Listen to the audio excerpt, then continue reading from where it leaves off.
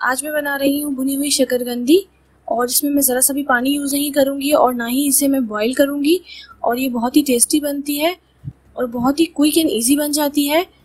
Left side पे red colour का button है, उस पर क्लिक करें और बेल आइकन दबाएँ। उसके बगैर आपको मेरी न्यू रेसिपीज़ नहीं मिलेंगी, उसे दबाना ज़रूरी है और ये फ्री है।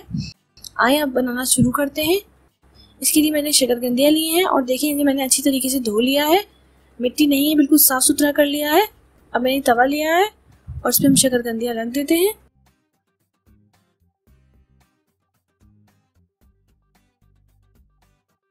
और बिल्कुल हल्की आग हम इस पर रखेंगे और अब मैं इसे ढक देती हूँ।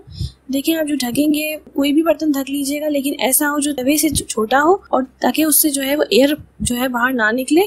बिल्कुल पैक हो। जैसे मैंने रखा है, इस तरीके से आप कुछ भी रख लीजिएगा। और देखिए, जो भी बर्तन आप इसके ऊपर रखेंगे, वो बहुत ही ज़्यादा गर्म हो जाता है, इसलिए आप उसे बहुत एहतियात से हटाइएगा। और इसमें आप जो है बीच बीच में से चेक करेंगे और टर्न कर देंगे, यानी इसे पलट देंगे। देखिए, एक तरफ़ से सीख गई है ये बिल्कुल। और इसे हम पलट देते हैं और देखिए, थोड़ी कच्ची है अभी। और हम इसे देखें यहाँ से हमने पलट दिया है और अब हम जो है इसे दोबारा रख देंगे। और देखिए, हमने दोबारा हटा दिया है और ये देखिए, बिल्कुल रेडी हो गई है। ये देखिए, कितनी नरम हो गई है पक गई है बिल्कुल। और अब मैं काट के आपको दिखा देती हूँ। किस तरीके से आप इसकी स्किन इजीली रिमूव कर सकते हैं।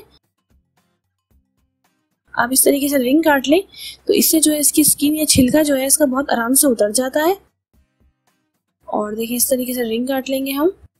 अगर से वीडियो आपको अच्छी लगी हो तो इसे लाइक करें और सब्सक्राइब कीजिए मेरा चैनल ताकि आप आइंदा भी ऐसी क्विक एंड ईजी रेसिपीज़ देख सकें। Thanks for watching